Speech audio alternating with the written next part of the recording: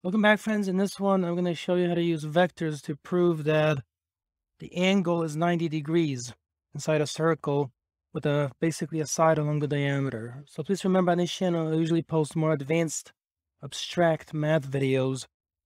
So if you're into that, this is the channel to be, a channel to be. So imagine we begin with a circle like this. All right, let's make it a bit better than that. Eh, gets the idea across. And then imagine this is diameter. So then draw this from here to here. Now this looks like it might be about 90 degrees. Okay, so let's draw perhaps a less perfect looking triangle, maybe one that kind of looks like this. So now one of the sides, like this side is longer than this side.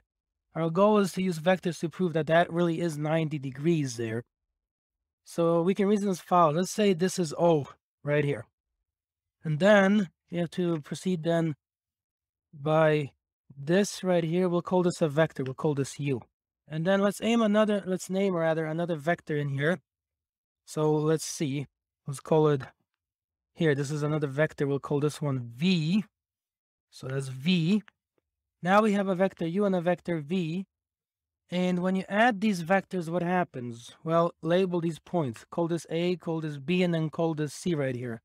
When you form u plus v, you're going to have u plus v, that's equal to ab. So it's ab this way.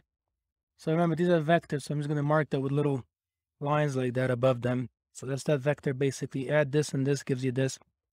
Now, if you take b and you flip it, and you basically place it here and you connect, it's going to give you that vector right there, bc. In other words, u minus v would be this bc right here, okay? Like that. Just imagine those vector notation. So if you like little arrows instead of lines.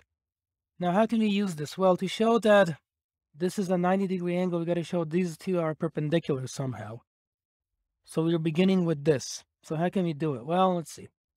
Let's form A, B, and just dotted with BC. If the dot product is zero, they really are perpendicular, a basic fact. So we're going to have the following in here then. Uh, U plus V Okay, dotted with, let's see, u minus v. And then we apply the basic properties of dot products as a dot. Okay, let me switch maybe to a thinner piece of chalk so it fits a bit better. So it's going to be u dotted with u, so u dotted with u this way. And then u dotted with negative v, so minus u dotted with v.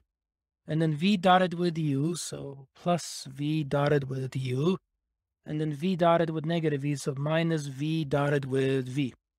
Now there's a basic principle that applies here, of course. And like this still cancels with this, they're opposite in sign. And then vector dotted with itself, it's the magnitude of the vector like this squared. And the same thing over here, minus the magnitude of the vector v squared. Well, make that a line. But of course, if you come back over here, you can tell that u, the magnitude, that's just r, the radius of the circle. So this is going to give us r squared minus r squared because v, as you can see, is right here. That's also the radius of the circle. Therefore, we end up with 0. In other words, AB dotted with BC really is 0. Therefore, this really is, now we have confirmed right here, 90 degrees. And Stuff like this is what you can do with vectors. I like it.